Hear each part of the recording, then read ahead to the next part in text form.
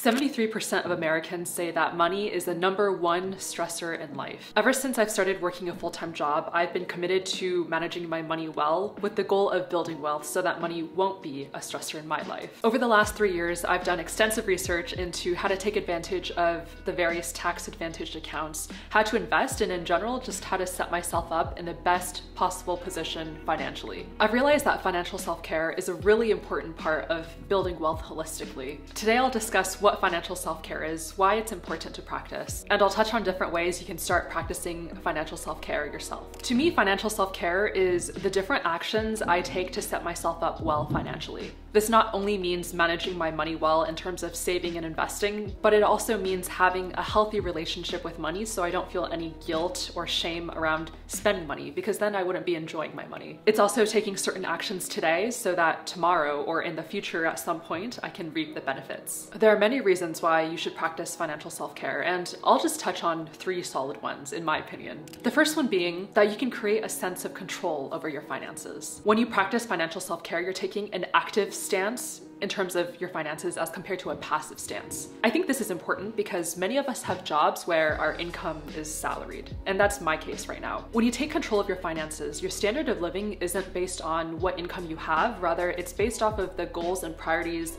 that you have specifically set for yourself. It's no longer having the mindset of, I'm living in this apartment because it's all I can afford. Rather, it's having the mindset of, I am choosing to live in this apartment because I have a specific goal of saving X amount of money by Y age. This way, we're being really intentional with how we spend our money instead of getting our credit card bill at the end of the month and thinking, like, I don't even know what I spent this month. Financial self-care also allows you to reduce stress and anxiety. It's being on top of your numbers coming in, so how much you're making, versus your numbers going out, so how much you're spending. As I mentioned earlier, financial stress is a significant source of anxiety for many people. But when you practice financial self-care, which includes budgeting, saving, investing, managing your debt, then you can greatly reduce any stress associated with money. Financial self-care also includes preparing for the unexpected. So that might include emergencies or economic conditions that we simply can't foresee. Building an emergency fund and having a well thought out financial plan can help ensure that these situations have a lesser chance of putting us into debt. Now let's talk about the tangible ways that we can practice financial self-care. My first point is around career and income growth. Part of setting yourself up well financially is thinking about how you can continue to increase your income. What are some career milestones you might have for yourself? This might look like promotions, salary increases, maybe having a different set of responsibilities in your role. If you want to climb the ranks of your company, how can you build your skills and qualifications so that you can get a promotion or negotiate a raise? Also, it's very important to know if you're being paid market rate. And if you're not being paid market rate, it might be worth looking into other opportunities where you would be. Big corporate, like Fortune 500 type companies aren't the only types of companies that can pay well. Startups are often looking for top talent as well. And the best time to apply for startups is when they have just raised funding. There are different newsletters that you can sign up for that share detailed information on which startups have just received funding. A company will always pay the bare minimum to an employee to keep them happy. And sometimes the bare minimum, by societal standards, is still a lot of money. But keep in mind, the value you then bring to the company is some multiplier of what you get paid. Otherwise, the company wouldn't pay you whatever salary they're paying you. You wouldn't be worth it, and it's just not good business practice because it wouldn't be profitable. So if you think you aren't being paid what is fair, and the company isn't willing to meet you halfway, then it may be time to vote with your feet, which means leaving for another company who will. People say the best time to shop around for another job is while you're still happy with your current job. Because then you're not desperate to leave and you can stay sharp on your interviewing skills. And you can also be aware of what the market is offering for someone of your level and skill set. Keep in mind that if you're not getting a raise every year that is matching the rate of inflation, which in 2023 is like 3.7%, then you're taking a pay cut to continue working at the company that you're at. I feel like that's something that isn't really talked about that much, and I think it's really important to be paid your market value. And my last point on this is being aware of work-life balance. Taking time off is really important in making sure that we don't burn out.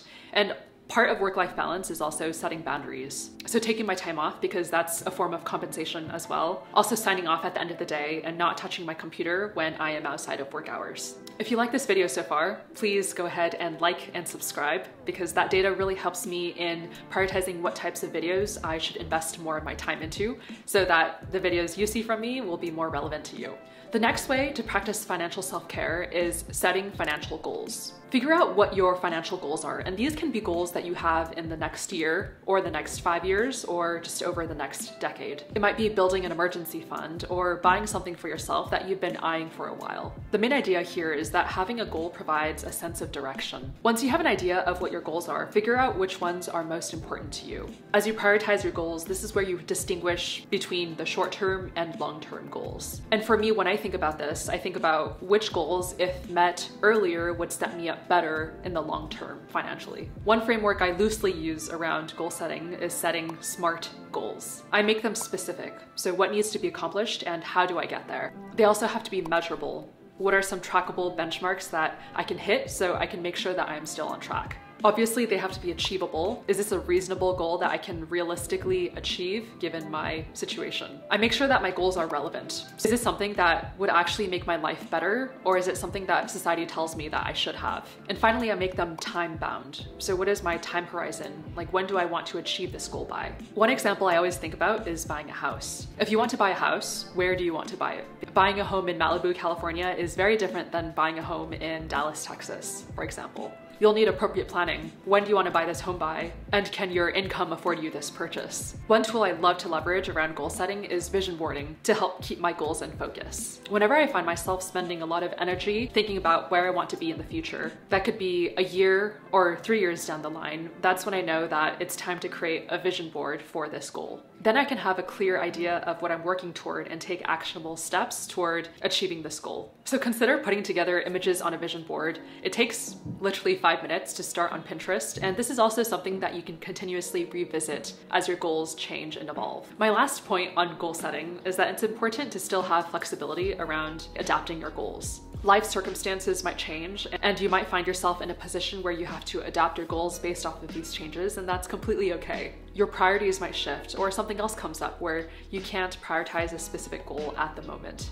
The next way in which you can practice financial self care is having regular financial check ins. If you haven't done this in a while, it might be time to take a hard look at your finances. Your financial situation is the same and it's yours whether you know the details or not, so you might as well know all of the details. This could involve reviewing spending, tracking progress toward goals. You might have to make adjustments as needed, and it also includes looking at your income and keeping track of where you are paying off your debts. This is also a good time to review any recurring charges that you aren't using. If you haven't used your Amazon Prime or that streaming service in the last two months, then it's time to cancel it. And if you do need to sign up again in the future, I promise you it'll probably be very easy to do so. Take a good look at your credit card statement. This might be where you see your recurring charges, but you'll also see where your money is going on a day-to-day -day basis and for your impulse purchases as well. Taking a look at these expenses can help you decide if spending money in these areas are still worth it for you. My next point is to learn from your mistakes. In this journey of saving money and building wealth, I've definitely made a number of mistakes. A couple off the top of my head include certain investing choices I made when I first started investing, both in my retail investing accounts and my retirement accounts, not negotiating certain charges, and not opening my Roth IRA earlier, just to name a few.